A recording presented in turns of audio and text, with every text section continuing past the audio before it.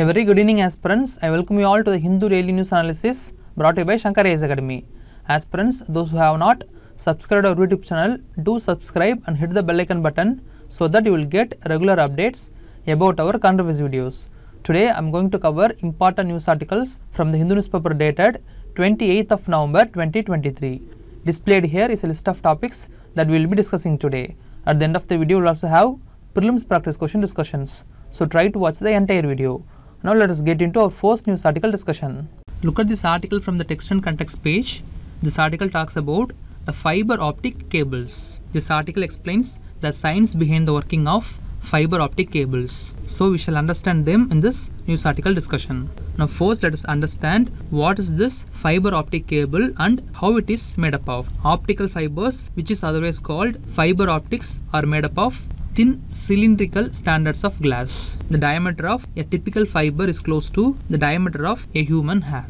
These fibers can carry information like texts, images, videos, telephone calls and anything that can be encoded as digital information. The fiber optics can carry information across large distances almost at the speed of light. Okay, now talking about the main components of fiber optics. Fiber optics consists of a core, cladding and a buffer coating. Now let us take core. Core is the central tube of very thin size made of optically transparent dielectric medium.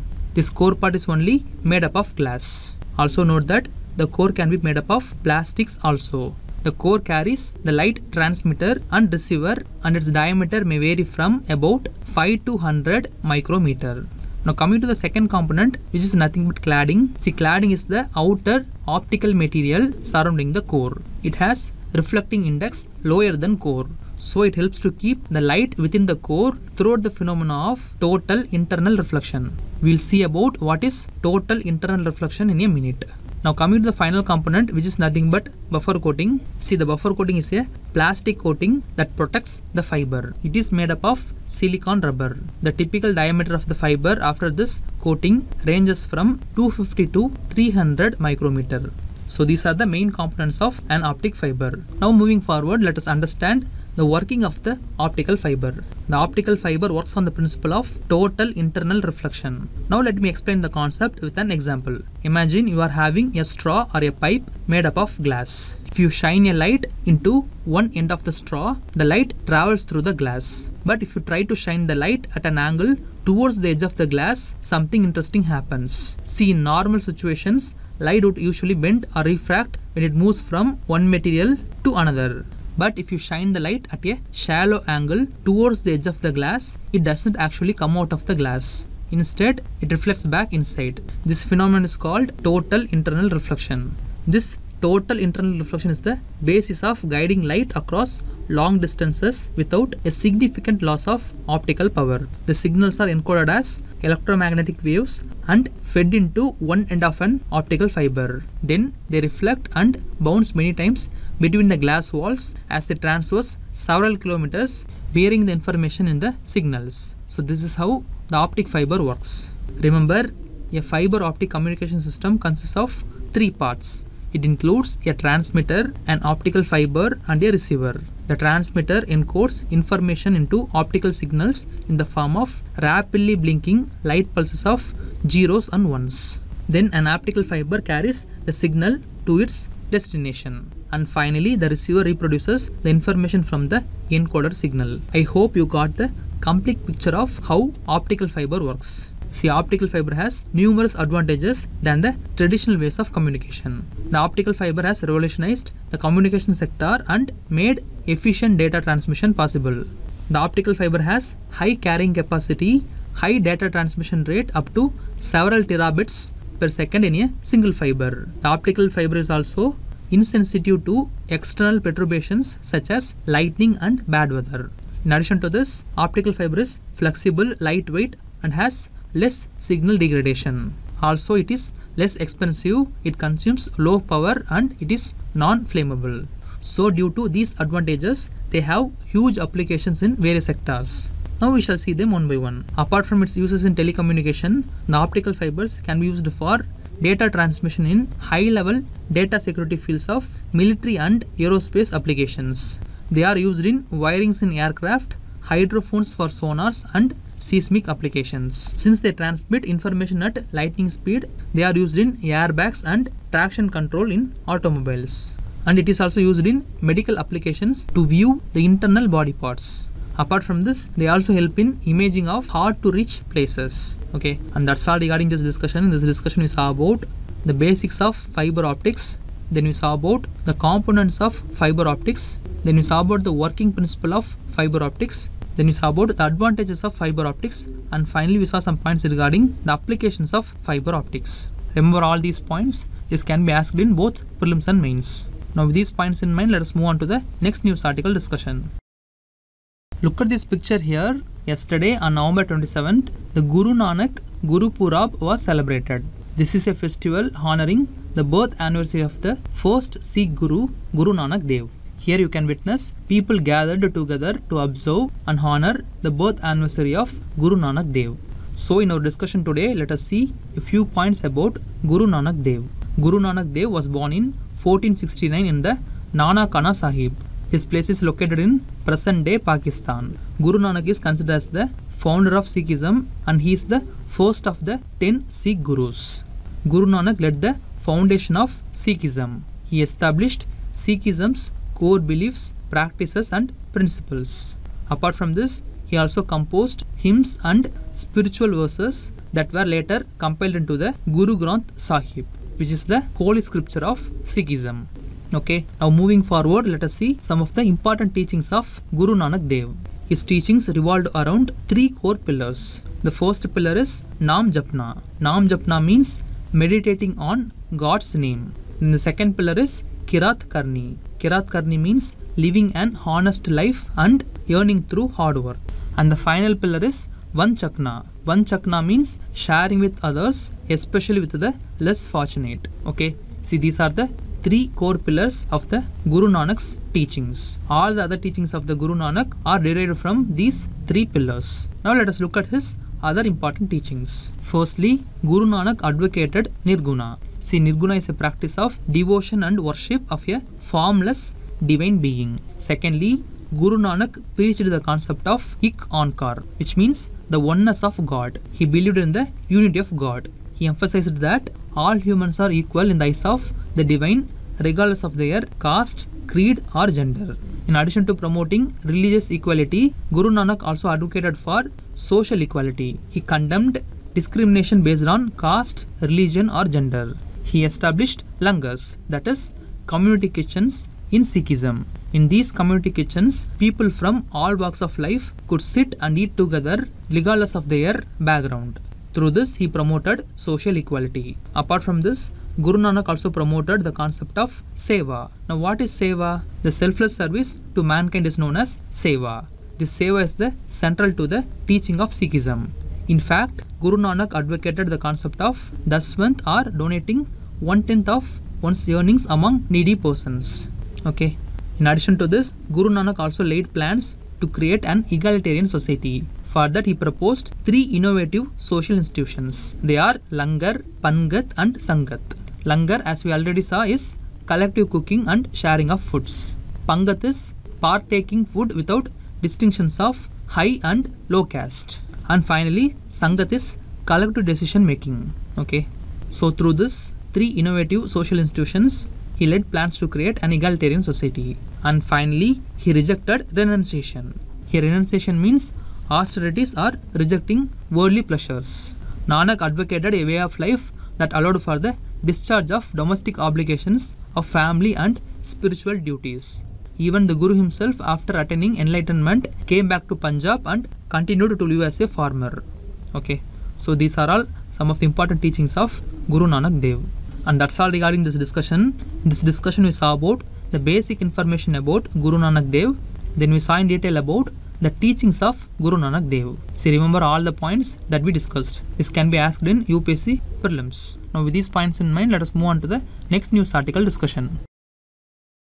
Take a look at this editorial article. This article talks about various challenges faced by the Supreme Court of India and the need for reforms in its functioning. This article discusses the structure and the functions of the Supreme Court of India, highlighting its jurisdiction, division of benches, and the challenges posed by the backlog of pending cases. It also outlines the importance of Supreme Court's constitution benches, which addresses significant constitutional law issues. The article also raises the issue of pending case load and the need for structural reforms in the Supreme Court. So, this is the summary of the editorial given here. In this context, let us discuss various challenges that hinders the effective functioning of the Supreme Court and what can be the steps needed to be taken to address those challenges. As usual, we will approach this topic through mains answer writing approach. Before that, let us look into the syllabus. This topic comes under GS paper 2 under the section of structure, organization and functioning of the executive and the judiciary. Okay, this is the syllabus. Now let us look into the question. The question is nearly 80,000 cases are pending in the Supreme Court of India. In this light, analyze the challenges that hinders the effective functioning of the Supreme Court of India. What can be done to improve the efficiency of the Supreme Court? 250 words, 15 marks. See, this question is pretty much a straightforward one. Here, the question asks to analyze the challenges faced by Supreme Court that hinders its effective functioning. Then, we must also provide some suggestions to improve its efficiency. So, the body of the answer can be divided into two sections. In the first part, we shall mention the challenges, and in the second part, we'll suggest some steps that can be taken. Okay, so this is how we are going to approach this particular question. Now, let us start with introduction. Since the question is about Supreme Court, we can mention about the basics of Supreme Court in the introduction part.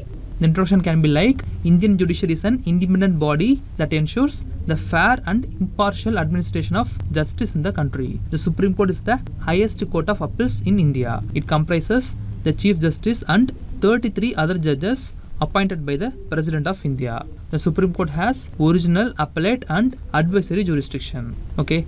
Here you can also mention some constitutional provisions regarding Supreme Court. For example, Article 124 to 147 deals with Supreme Court. Article 124 states that there shall be a Supreme Court of India constituting of a Chief Justice of India. Okay. So you can mention all these points in the introduction part. Now let us move on to the main body of the answer.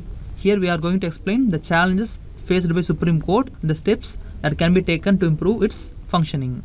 Now we shall see the challenges that hinders the effective functioning of the Supreme Court. The first challenge is backlog of cases. One of the most significant challenges faced by the Supreme Court is the backlog of pending cases. The court is burdened with a large number of pending cases leading to delays in justice delivery. As per the data from the Integrated Case Management System, there are about 80,000 cases pending in the Supreme Court. Also note that there is no time frame for judges for disposal of cases. This also leads to more delayed disposal of cases. Okay, so this is the first challenge. Secondly, judicial vacancies. Vacancies in the Supreme Court impact the disposal of cases. The delay in appointing judges also contributes to the backlog of cases and also hinders the effective functioning of the Supreme Court. Okay, this is the second challenge. Thirdly, conflict with the executive.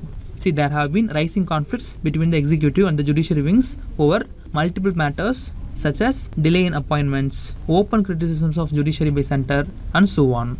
This leads to the creation of tensions and mistrust between judiciary and executive. So this will reduce the efficient functioning of judiciary.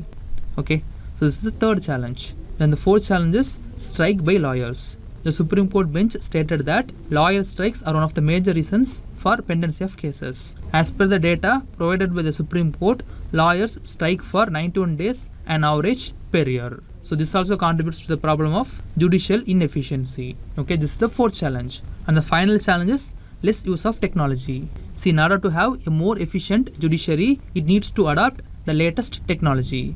This will reduce the huge amount of paperwork involved. The database of the court is also not maintained in one place and there is also no recording of the proceedings and hearings. So these concerns also hinders the effective functioning of the Supreme Court. Okay, so these are all some of the important challenges that hinder the effective functioning of the Supreme Court. Now we shall see the steps that can be taken to improve the efficiency of Supreme Court. Firstly, in order to reduce the pendency of cases in Supreme Court, regional benches should be established. Article 130 of the Indian Constitution empowers the Supreme Court to set up Supreme Court benches across India. So setting up of regional benches will facilitate faster dispensation of justice. Also, establishment of more fast track courts will also reduce the burden of Supreme Court. Okay, this is the first step. The second step can be modernization of courts. Supreme Court need to be fully digitized and a proper infrastructure should be built to provide ECSS. Improving judicial infrastructure through the use of e-platforms and setting up of more courts will ensure the timely disposal of cases and reduces backlogs. Okay, this is the second step. Thirdly, strengthening the alternative dispute resolution mechanism can also help to improve the efficiency of Supreme Court. Some of the alternate dispute resolution mechanisms like arbitration, mediation, and conciliation can help the parties to communicate and resolve the dispute without going to court. It offers to resolve all types of matters related to civil disputes. So many of the cases reaching the courts can be settled at the pre-litigation stage through counseling. Okay, this also reduces the burden of pending cases in the Supreme Court. Okay.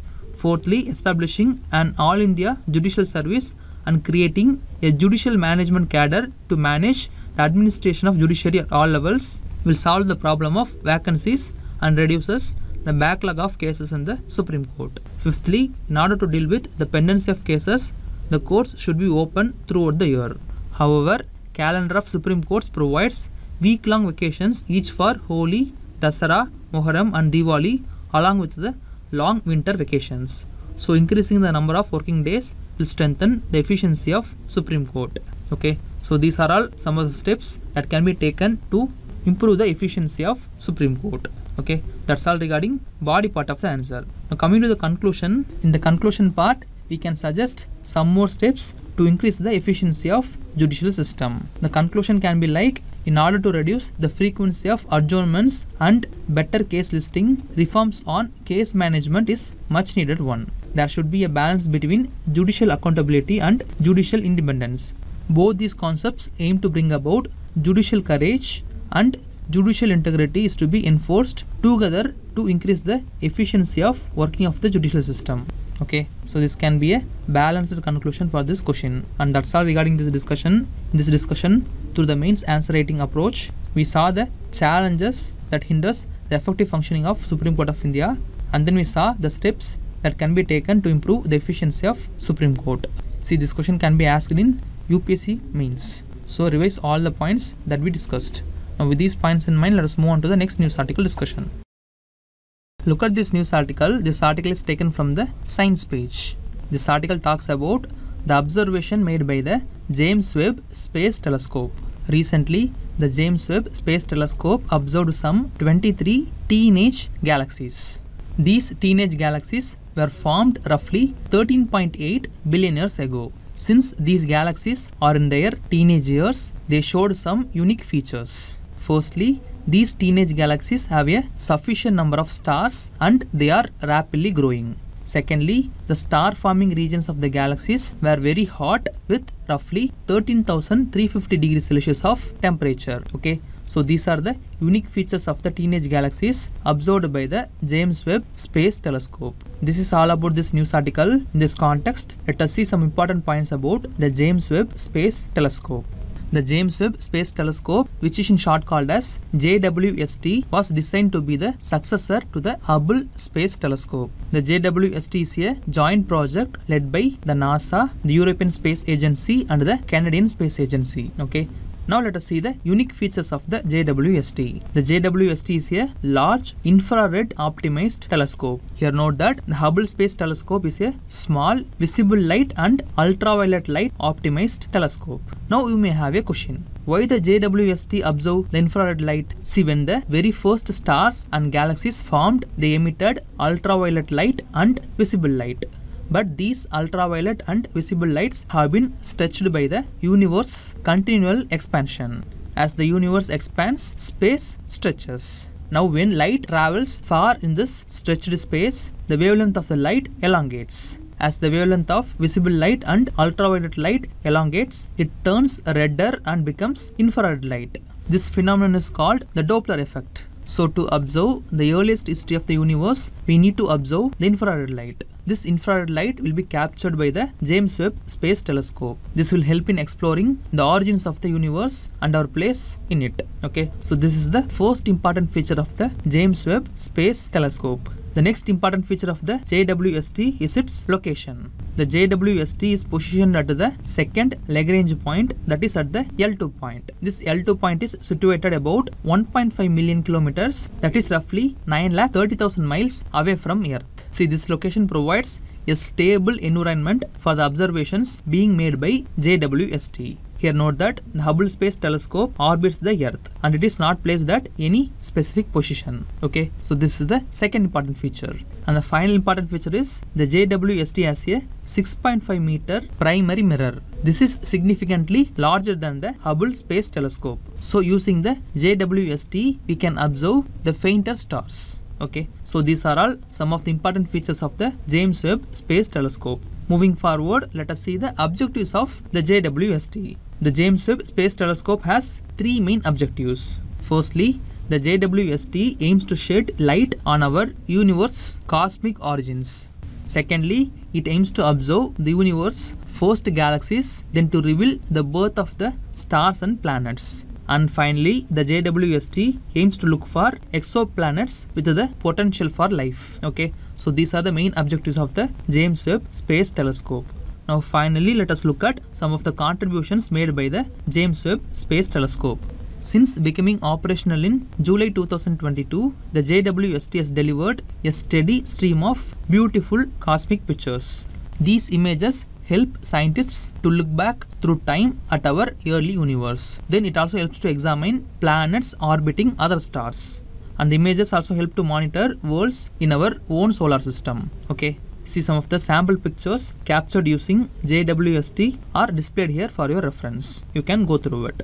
In addition to this, the JWST has helped observe some of the most distant galaxies in the universe. These galaxies are not only the most distant galaxies to be observed, but they are the oldest to be observed. Okay. And finally, JWST helped capture the atmosphere of Titan. Note that Titan is one of Saturn's moons. Titan has rock made of water ice. It also has rivers, lakes and seas made of liquid methane and ethane. Titan is the only moon in our solar system to have a thicker atmosphere. The atmosphere of Titan was clearly captured using the JWST. Okay, so these are all some of the recent contributions made by the JWST to astronomy. Okay, and that's all regarding this discussion. In this discussion, we saw about the unique features of James Webb Space Telescope. Then we saw about the objectives of the telescope, and finally we saw some points regarding the contributions made by James Webb Space Telescope. Now, with these points in mind, let us move on to the next news article discussion. Look at this news article. This news article says that Two pelicans with unusual brownish feathers were recently sighted in Pallikaranai marshland in Chennai. These brownish pelicans are distinct from spot-billed pelicans which are usually present there in Pallikaranai. It is important to note that brown pelicans are a different species found in the southern US coast and they are non-migratory while spot-billed pelicans are found in South Asian region and they are migratory birds. This is the crux of the news article given here. Now in this context, let us understand the basics about spot-billed pelicans. The spot-billed pelican is a large migratory bird belonging to the pelican family. It is one of the eight living species of pelicans. It is also known as the grey pelican. The spot-billed pelican has a predominantly white plumage with black flight feathers.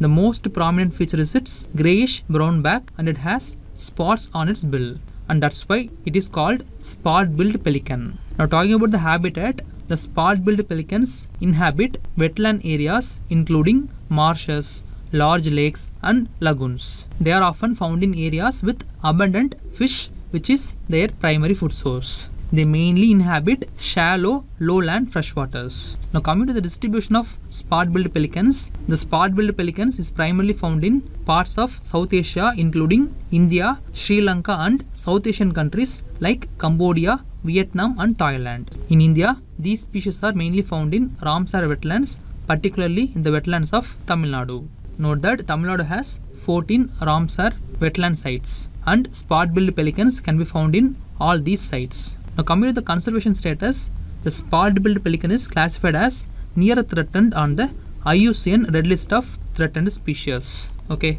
Now what are the threats faced by spot-billed pelicans? These species face various threats due to habitat loss, degradation of wetlands and disturbance at breeding sites. These pelicans breed colonially in trees by building large stick nests. These breeding colonies are highly sensitive to disturbance which can affect their nesting success. As fish eating bird, spot billed pelicans play a vital role in maintaining the balance of fish populations in their habitats. Okay, and that's all regarding this, this discussion. We saw various facts about spot billed pelicans. Now, with these points in mind, let us move on to the next news article discussion. Look at this news article. This news article is about a paper published in the Lancet magazine. The title of the paper is Retinopathy of Prematurity in India. What can we learn from the polio legacy? This article emphasizes how the lessons learned from successfully eradicating polio can be applied to enhance the quality of retinopathy of prematurity services in India. Okay, this is about the news article given here. In this context, let us see some points about retinopathy of prematurity and we shall also see some points about the global polio eradication initiative. Now let us start with retinopathy of prematurity. Retinopathy of prematurity, which is in short called as ROP, is an eye disease that happens in babies who are premature. That is, the babies who born early. It mainly affects the babies who weigh less than 3 pounds at the time of birth.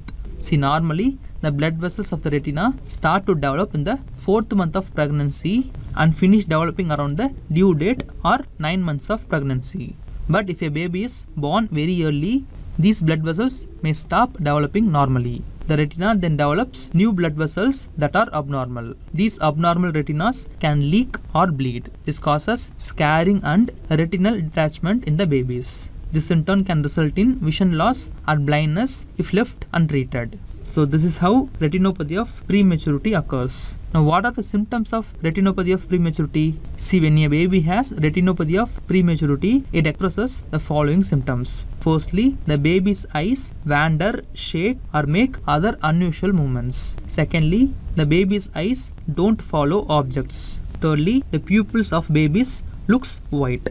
And finally, the babies have trouble in recognizing faces. So these are all some of the symptoms of retinopathy of prematurity. Now finally let us look at the available treatment options. See many babies with retinopathy of prematurity have mild cases and get better without any treatment. But some babies need treatment to keep retinopathy of prematurity from getting worse. Firstly, there is laser treatment. Babies with advanced retinopathy of prematurity may need laser treatment on the sides of retina. This treatment can help to keep retinopathy of prematurity from getting worse and help to protect child's vision. Secondly, there is the anti-vascular endothelial growth factor drugs. Doctors inject these drugs into the baby's eye. These medicines work by blocking the growth of abnormal blood vessels okay? And in advanced cases surgery can be performed to prevent blindness okay? So these are all some of the treatment options available to treat retinopathy of prematurity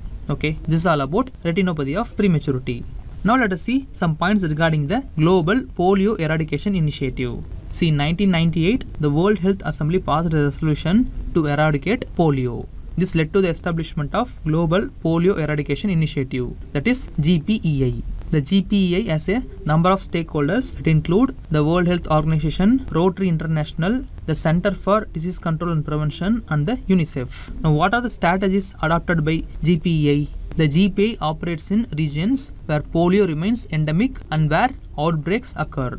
The initiative employs various strategies like mass vaccination, surveillance, and community engagement to eradicate polio. The initiative also tries to ensure that in areas endemic to polio, every child receives the oral polio vaccine or inactivated polio vaccine. Okay, so these are the strategies adopted by GPEI. Now, finally, let us see the contributions made by GPEI. Since the launch of GPEI, polio cases have decreased by more than 99%. In addition to this, polio vaccines have prevented an estimated 20 million cases of paralysis in children since 1988. Apart from this, the polio vaccines have stopped the spread of wild polio virus in all but significantly in two countries such as Afghanistan and Pakistan. And finally, GPEI has aimed to eradicate all forms of polio by the year 2023. Presently, it is actively addressing the obstacles standing in the way of achieving this ambitious goal okay so these are all some of the important points about global polio eradication initiative and that's all regarding this discussion this discussion is about the condition of retinopathy of prematurity in babies. Then we saw about the global polio eradication initiative.